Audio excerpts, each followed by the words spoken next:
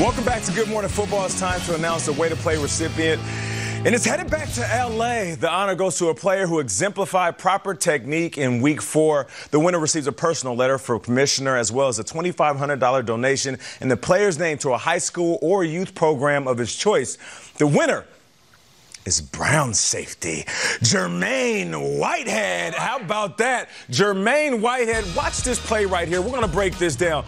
Here he is up here safety position. Now, I want you to pay attention to Mark Andrews running this deep, skinny post, and he's going to stay on top of it. What do you do at this point? You can either hit him or you can grab him.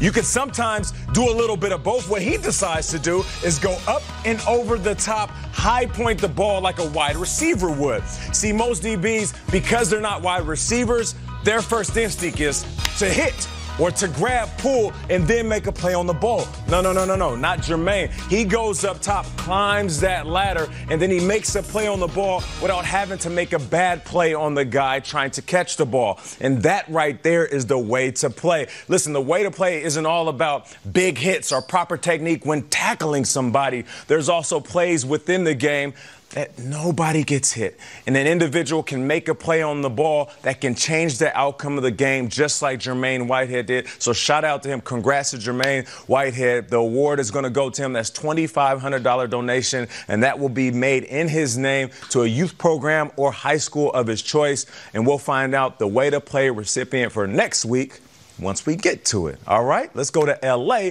where my guy Will Selva is waiting in the newsroom. That's right. What's going on there, Nate? And well done with your breakdown as always, my friend. So we started in Chicago. I guess it would be more London. Quarterback Mitchell Trubisky is traveling with the Bears to London today, but there's nothing more to read into his travel plans. Trubisky expected to be a spectator on Sunday as backup Chase Daniel would make his fifth career start against the Raiders. Teammate Khalil Mack has made plenty of starts in his young career, but perhaps none is more, let's just say, motivating than facing the team that traded him to Chicago for the first time.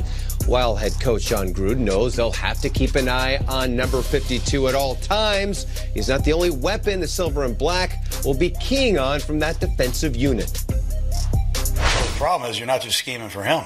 You know, Floyd is is uh, not a bag of rocks. The guy's a great player. They have two of the best inside players in the league, and they have a great blitz scheme. Uh, so it's easier said than done. Let's put two guys on Mack. Uh, they blitz enough where you can't get help. You know, that's why we, we brought in Trent Brown. That's why we drafted Colt Miller in the first round. You know, those guys are going to have some tough snaps against a great player. You know, Floyd is not a bag of rocks. Our guy, P. Schrags, first showed us this yesterday during his Cool Plays Bro segment. Patrick Mahomes look back at the ref on his scramble and run during Sunday's win over the Lions It's just another Mahomes play that makes us shake our heads in disbelief. Here's PM15 explaining the reason for his incredible play.